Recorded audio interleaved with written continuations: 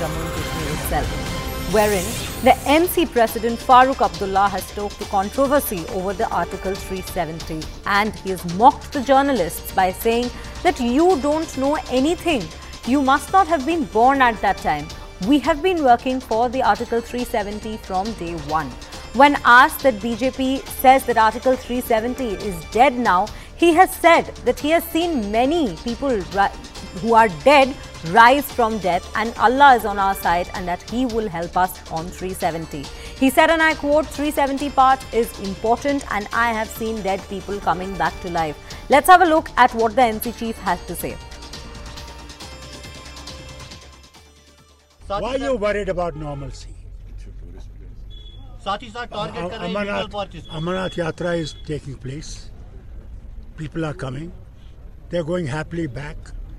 People in Pahalgam who haven't earned for many years during the time of COVID, at least they're earning something. कैसे चुने पता ही national conference च हर वक्त अत खतर जदोजहद करमस गोडनिक दो अनु तरस ते मानता कि यमो यम वनकस मुखबिर बिहित यम अस कुनन चाहन छ अनकॉन्स्टिट्यूशनली हटो कि अब सुप्रीम कोर्टस में कई मरे हुए इंसान भी वापस आ गए हैं। मैं डॉक्टर हूँ मैंने देखा है। जिनके पास कोई होश आवास नहीं था पल्स भी नहीं थी। अल्लाह ने उनको फिर से ज़िंदा किया।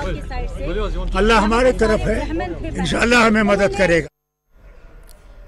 Well, you heard what the former Jammu and Kashmir Chief Minister had to say and the NC Chief had to say on the Article 370. Quite a bizarre statement that has definitely come in from Farooq Abdullah. We have Tejinder Singh joining us on the broadcast right now.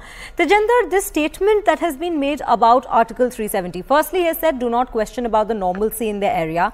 And secondly, he has made a statement comparing that the dead have come back to life. Uh, oftentimes he has seen such cases and that is the comparison or rather the analogy that he has brought when it when uh, asked about article 370 how are we looking at this particular statement of his uh, see, uh, it, it, it, clearly shows that uh, these Kashmir-based political parties, be it the National Conference or the P PDP, they have been playing with the emotions of the people of Jammu and Kashmir and still they continue to do so. Uh, while the Supreme Court is hearing uh, the case on Article 370, you heard Farooqullah first mocking the journalist because uh, a, a, female journalist asked Farooqullah what his party did to strengthen Article 370 when he was in power.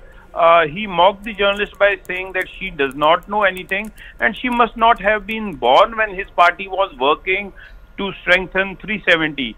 So another journalist, when asked Farooqullah that uh, uh, the BJP and other other parties are saying that uh, Article 370 is dead now, Farooqullah says that uh, uh, he is a doctor by profession and during his profession he has seen uh, several dead people rise from the death. So he says that Allah is on his side and he believes that Article 370, which some political parties consider as dead, would rise again, would come back. So this is just uh, playing with the emotions of the people of Kashmir. While these polit politicians in Kashmir, they also know that Article 370 is gone now. Its restoration will never happen uh, because uh, the, the, the, the revocation was passed by the majority in both the houses of the parliament by absolute majority in the both houses of the parliament and uh, it is a gone chapter now uh, we know that the Union Home Minister had promised that uh, the statehood of Jammu and Kashmir would be restored at an appropriate time. But Kashmir-based politicians, they uh, continue to play with the emotions of the people of Jammu and Kashmir by stoking the issue of Article 370. Yes. Right, right, Tejinder. Definitely quite a quite a crucial statement that has come in from the NC chief. And right now we are going to shift our